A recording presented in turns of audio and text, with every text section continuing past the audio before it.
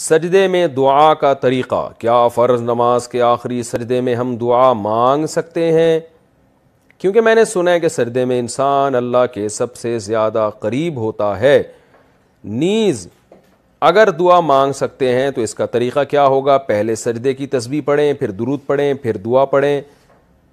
پھر درود پڑھیں یا پھر اٹھ جائیں یا کچھ اور طریقہ ہے لبنا صاحبہ انڈیا سے۔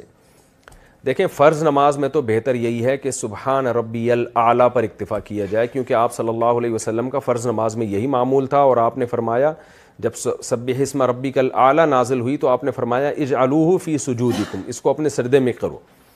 تو امام اگر فرض نماز پڑھا رہا ہے تو اسے تو سبحان ربی العلیٰ پر ہی اکتفا کرنا چاہیے، کیونکہ وہ دعائیں مانگے گا تو نماز لمبی بھی ہو جائے گی، اور حدیث میں اس کو بھی پسند نہیں کیا گیا کہ امام زیادہ لمبی نماز پڑھائے۔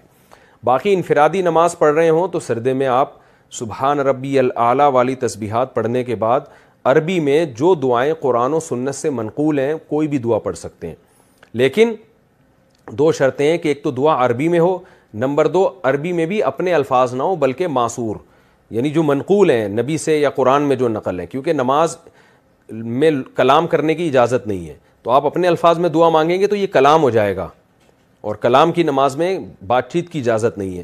تو جو منقول دعائیں ہیں، قرآن میں ہیں یا حدیث میں آتی ہیں، تو کوئی بھی پڑھ سکتے ہیں اس میں، جتنی چاہیں پڑھیں۔ اس سے پہلے دروشری بھی پڑھ سکتے ہیں، بعد میں بھی دروشری پڑھ سکتے ہیں۔ نہیں بھی دروشری پڑھنا چاہیں تو بھی ٹھیک ہے۔